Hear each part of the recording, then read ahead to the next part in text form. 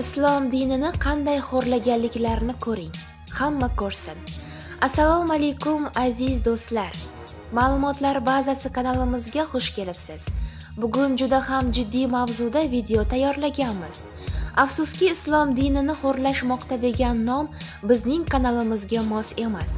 Lekin aslida ham e'tibor berib qarang bu g'ayri din vakillari allohni ismi yozilgan oyoq kiyimlarni ishlab chiqarishibdi. Balki sizlar ham paypoqlarda yoki krossovkalarda alloh ismi yozilganligi haqidagi videolarni ko'rgandirsiz.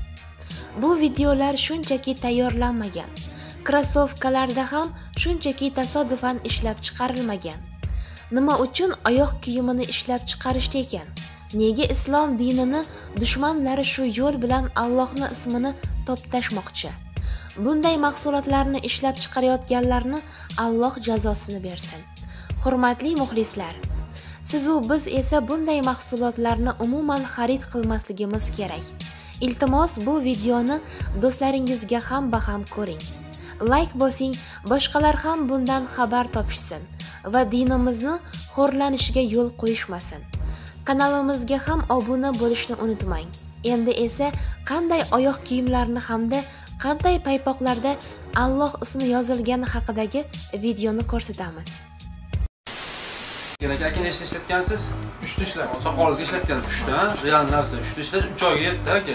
Telefoningizni rasm eski rasmingiz bormi aka? Shuni ko'rsataylik.